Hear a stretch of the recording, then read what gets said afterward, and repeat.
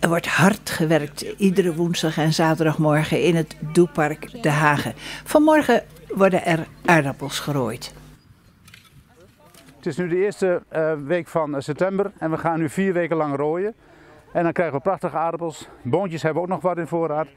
En uh, de bedoeling van dit hele rooiwerk is dat we de grond goed schoonmaken voor volgend jaar als we bezig gaan met het systeem van permacultuur. Permacultuur betekent letterlijk permanent in cultuur. Dat betekent elke keer als we iets oogsten, radijsjes, die bij zes weken staan bijvoorbeeld, dat we dan na die zes weken direct alweer een groenbemester neerzetten of een vervolggewas als spinazie. Dus dat we het hele jaar door permanent de moestuin, niet, geen zwarte grond zien, maar permanent dat daar gewassen groeien. Onze courgette, goed gelukt. Zeg maar, um, nu zie ik dat het een beetje monocultuur is, hè? zo heet dat toch? Ja. Um, aardappels, waarom aardappels? Nou, u ziet uh, zes vakken uh, in deze moestuin. Ja. Eén vak hebben we geen aardappelen staan, maar je mag niet elk jaar hetzelfde erop zetten. Dus maximaal op dat ene vak mogen we volgend jaar aardappels zetten.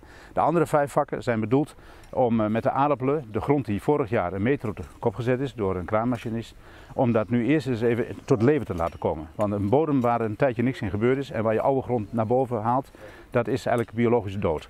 En uh, daar moet je leven in zien te krijgen. Op het moment dat je er een gewas in zet als een aardappel, die wortelt diept, die maakt dikke knollen. En die haalt dus heel veel voeding uit de bodem. En als je heel veel heel actief proces van voeding opnemen, heb je ook een heel actief proces van bodemvorming. Dus veel bacteriën, schimmels, uh, allerlei microfauna en mesofauna komt in die bodem. En dat, dan hebben we dus in één jaar die bodem van dood tot een levende bodem gemaakt. En dat is een prima basis om volgend jaar te kunnen beginnen met wat een kwetsbare systeem van permacultuur. Nou, laat de aardappels maar even opliggen, die mogen best even liggen. Werk ze vooruit. Maar eigenlijk moet dit stuk eerst vlak gemaakt zijn. Jullie zijn nu al met de volgende rij bezig. Dit moet je eerst even afwerken. Dus even op deze manier gewoon even met de greep erdoor. En dan komt de troep eruit, dan komen er nog weer aardappels uit. Dus even eerst de boel afwerken. Er is wat te oogsten, hè? ook in de toekomst. Waar gaat die oogst naartoe?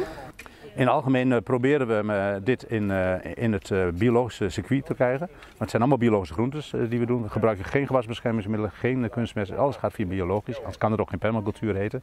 Dus we gebruiken het systeem van de natuur. Building with nature heet dat heel mooi. En die kracht van de natuur die gebruiken we om voedsel te produceren. En dat label kun je ook weer gebruiken. Na een aantal jaren dan kun je een skalkeurmerk aanvragen. En dan kunnen we het zelfs afleveren aan een natuurwinkel. En, en als, dat, als die het niet hebben willen, kunnen we het hier gewoon zelf bij het toekomstige paviljoen gaan verkopen. In een soort slow food formule.